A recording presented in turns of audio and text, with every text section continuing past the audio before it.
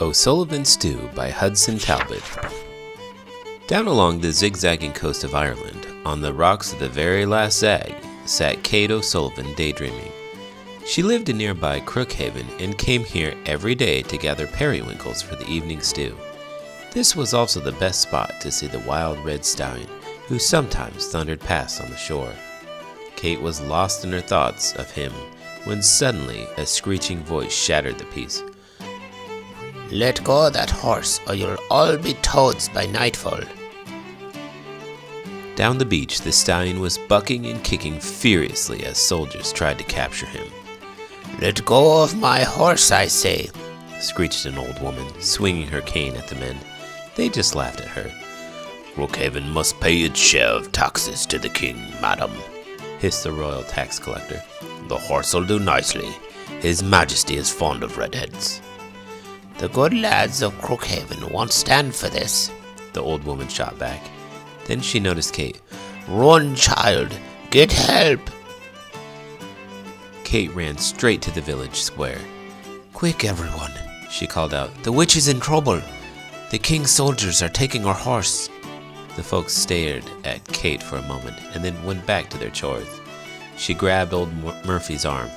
Didn't you hear me? She shouted. Our witch needs our help. What do you mean, our witch? He asked with a shrug. She's not one of us. Let go of my sleeve. Murphy's right, you know, added Flynn, the sod cutter. Who are we against the likes of them? She's a witch, after all. Let her fend for herself. The villagers skulked into their homes, closing doors and shutters behind them. Kate took a deep breath and returned to face the witch alone. They were too busy, the witch shrieked at Kate. They're never too busy when they need a cure for a fever or a hex, or on their pests or love potion. Not one of us, indeed. The old woman hobbled toward her door, then turned to Kate. Save those periwinkles, child, she said. You may need them. It was a black day indeed when Crookhaven's witch went into a snit. The fish nets came up empty, the cows stopped giving milk, gardens died, trees fell on houses with remarkable accuracy, and the rain was heavier than usual. Desperate townsfolk went to the witch to beg for mercy, but were met by a sign at her gate. Don't bother, I'm not one of us. Hungry days turned into starving weeks, but just when Kate was thinking about boiling up her right shoe, she had an idea.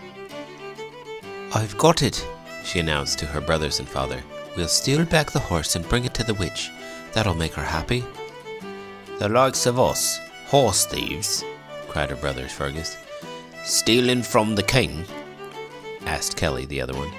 Oh, the poor little thing, said her father Seamus, patting her on the cheek. She's lost her wits from hunger. We've more than that to lose if we sit here and do nothing, Da, said Kate, but we've nothing to lose for trying. The O'Sullivan men scratched their heads. Look at it this way. We're facing death in either case, she continued. By the hangman's rope or an empty plate, which way do you prefer to go? They scratched their heads again. You with me then, lads? she asked. Kate O'Sullivan was known for her way with her words. And so the O'Sullivans found themselves on a quest to save Crookhaven. They hiked for days until at last the king's mighty castle rose before them. The weary travelers found a hiding place to rest till midnight and to enjoy their last crusts of bread. Seamus took out his flask of home brewed stout and squeezed hard for the very last drop. And what a fateful drop it was. The O'Sullivans had many skills, but horse thieving was not one of them. Poor Seamus lost control, and. Guards came running from all directions. Soon the whole castle was awake, and the O'Sullivans were thrown in front of the king himself. Well, Seamus O'Sullivan, said the king, you don't look like a horse thief, but that doesn't mean you shouldn't hang like one. What have you to say for yourself? Well, well, well uh, er, your Maj- Ma- Seamus babbled. He was trembling too hard to speak. You don't talk too well either, said the king. He stared at Seamus for a long moment, then his face darkened and his voice grew fierce. Do you even realize the trouble you're in? Have you ever been in a worse spot in your life? Poor Seamus only trembled harder. I have, said the voice from the side. All eyes turned toward Kate.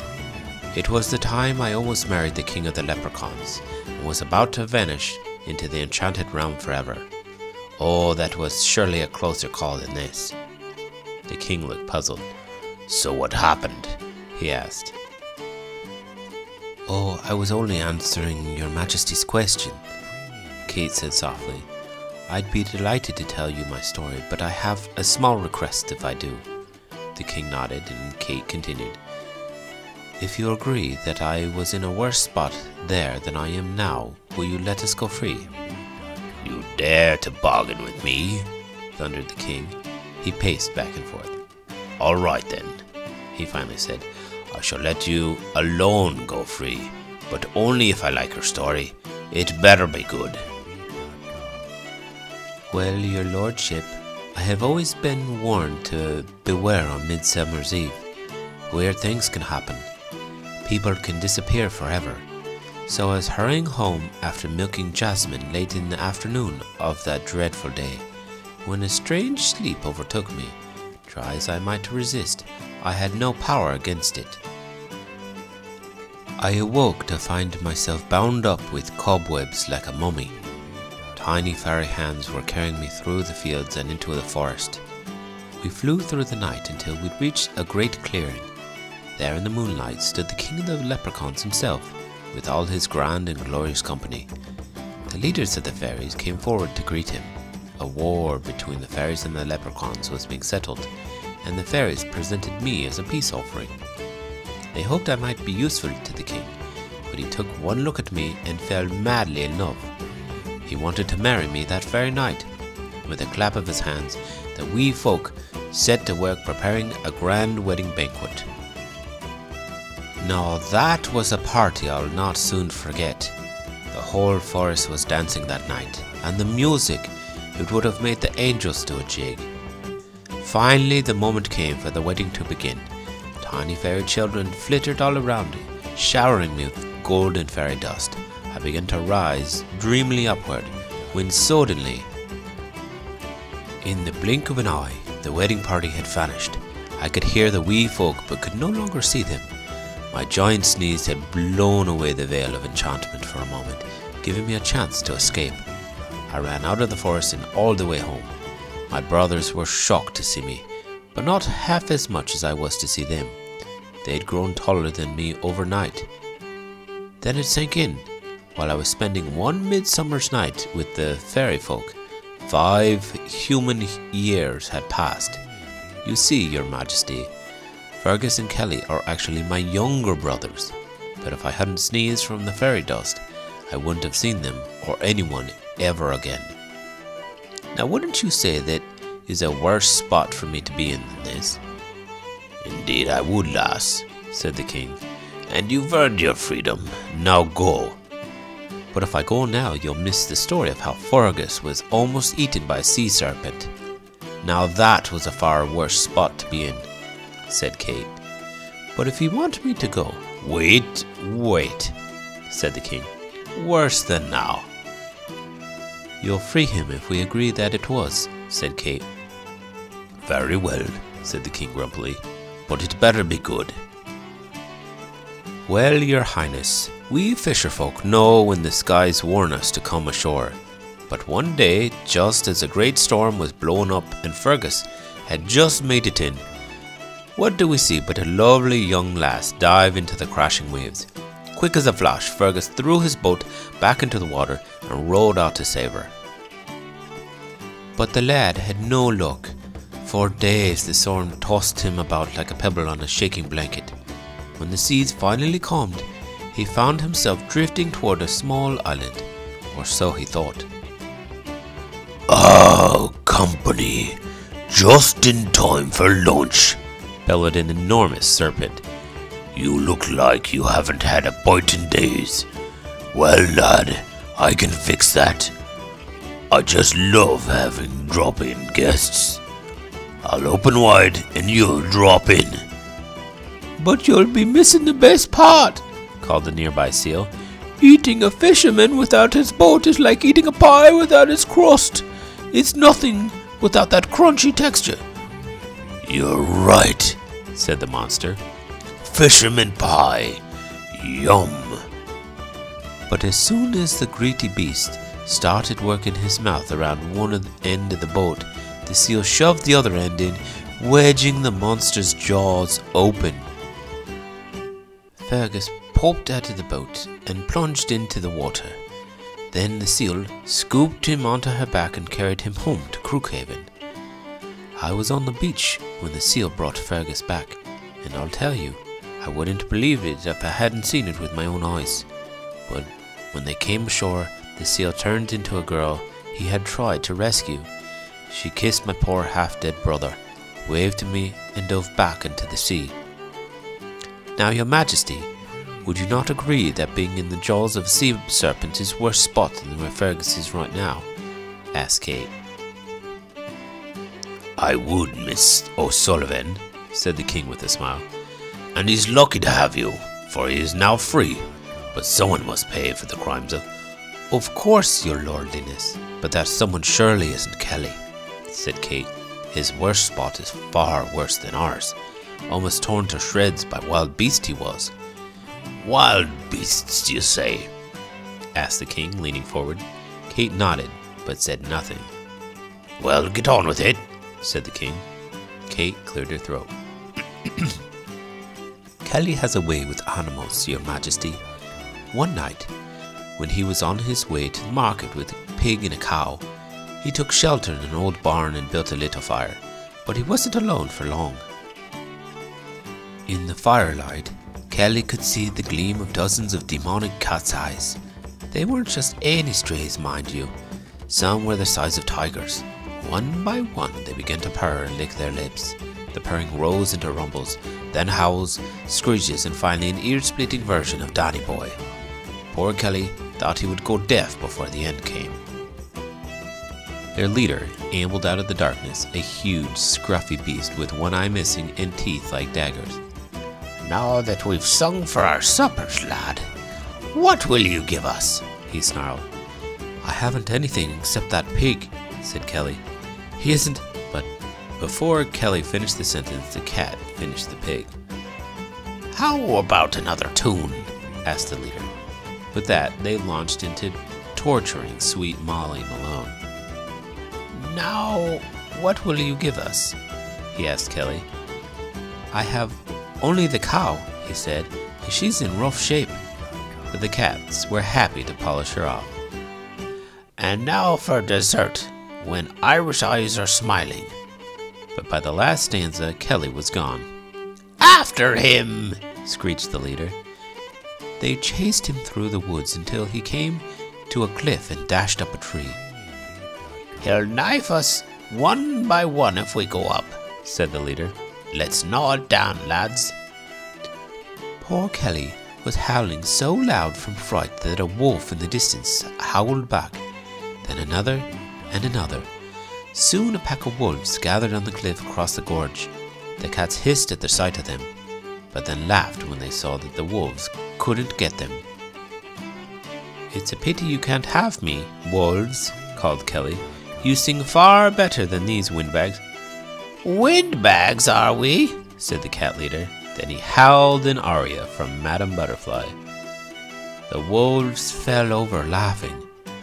Now I know why they call it caterwauling, yelled the wolf leader, and he led his lads into a piece that could only be called the Hallelujah Chorus. Neither side would be outdone. Duets, trios, quartets, quintets out howled each other until the entire forest vibrated with the deafening songfest. Kelly's tree trembled, then swayed, then whoosh! A blizzard of fire filled the air as the enemies flew at each other on the fallen tree. Cats and wolves were whizzing by Kelly in all directions. Kelly clung to the tree until at last the forest was silent and he was safe. He gathered all the fur on the ground and brought it home, said Kate. I spun it into yard and dyed it Kelly green. What do you make of my shawl, your majesty? As lovely as you are, Miss O'Sullivan, said the king. And before you ask, yes, Kelly is free. But your father must pay for the crime. After all, he's the one who should have known better. Oh, you needn't tell me, your lordship. I'm the one who must look after him, said Kate. He was even wilder as a youth, beating up that giant and all. I'll never know what he'll do next. He beat up a giant? asked the king. To save a baby's life, said Kate. He just laughs at danger. Tell us the story and then we'll see who's laughing. And who's still trembling, said the king. Kate nodded. One day, very long ago, when my father, Seamus, was out boating, he came upon an enchanted isle. It was a place of unearthly beauty, but Seamus could hear someone crying as somewhere. He followed the sound until he fell into a deep ravine. At the bottom was a tearful young mother with her baby. She told Seamus that they were captives of the giant who had ordered her to prepare her child for the giant's dinner. A moment later, the giant's ladder slid into the ravine, and two huge feet came stomping down the rungs. Seamus told the woman to hide the child. Then he jumped into the stew pot himself. I'm hungry enough to eat a horse, growled the giant. But I'd better stick with a baby tonight. I'm watching my weight. He looked into the stew pot and smiled at Seamus, simmering away. What a chubby little devil.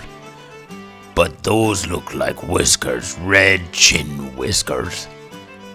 He's very mature for his age, said the mother, sliding the lid back on the pot. Why don't you go lie down? I'll call you when dinner's ready. The giant was snoring in no time. Seamus, now red as a lobster, slipped out of the pot, tied on the baby's bonnet, and scrunched up the platter in the middle of the table. The woman covered him with the stew and stuck an apple in his mouth. Then she lit the candles, rolled out the huge chair, and woke the giant. Yummy! he exclaimed, picking up the platter.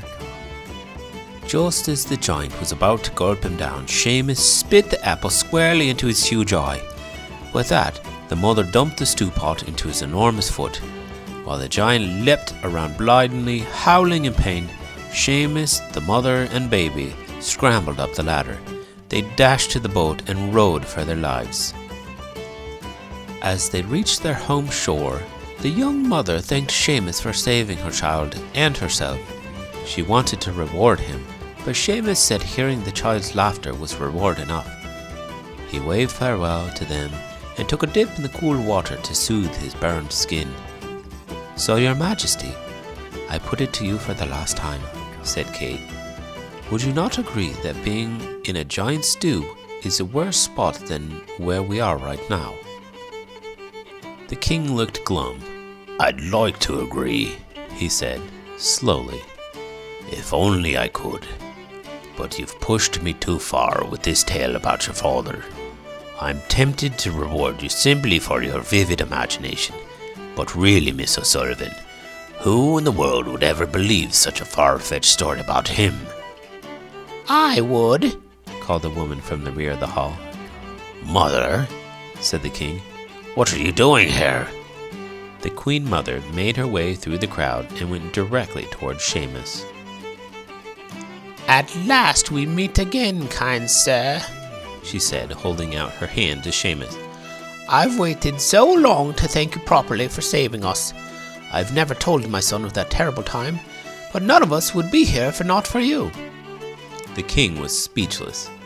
It's true, said the Queen Mother, turning to her son. There is no cause for hanging this man, but for honoring him we owe him our lives and anything else he wants. How about the horse? suggested Kate. That is the least we'll do, my dear o- Miss O'Sullivan, said the king. Let's start with breakfast. Fiddlers, how about some breakfast music? After royally entertaining the clan O'Sullivan, the king regaled them with sacks of gold, coffers of jewels, and enough food and drink to keep Crookhaven merry for months. Then the O'Sullivans headed back to Crookhaven for the real party. Crookhaven was ready to celebrate, for the witch had come out of her snit. She and Kate both were in fine form as guests of honor at the big party. Seamus proudly served up his specialty, O'Sullivan Stew. The townsfolk made sure that no one was left out by hanging a banner across the village green that read, Everyone is one of us. The next morning, the witch came to Kate's door. I saw how you rode this horse, said the witch. He likes you. He should be yours. For once, Kate was tongue tied. No one had ever done anything for me before you, and your kin risked life and limb, the witch said. It's so easy for folks to say how much they care, but who among us ever shows it? So it's my turn to show you. His name is Sebastian, and he'll serve you well, just like his mother served me. But what's your name? asked Kate. In the coven, I was known as Blazing Dragon whose rage has no limits. But you can call me Fifi. Then for me, you'll always be Aunt Fifi, said Kate, and threw her arms around Aunt Fifi. The following morning, there was another knock on the door. The king entered with flowers in his hand. Miss O'Sullivan, there is no one in my heart but you, he said. Would you be my wife? Kate replied, Oh, it's funny you should ask me today, Your Majesty. You see, I've just decided that after talking so much about the adventures of others, it's time that I go find some of my own. Kate led the king out the back door where Sebastian stood, saddled and ready for a journey. She said her farewells to everyone and then mounted up. If your offer is still good in five years' time, you'll know where to find me, Kate called back to the king. Just remember the way to Crookhaven.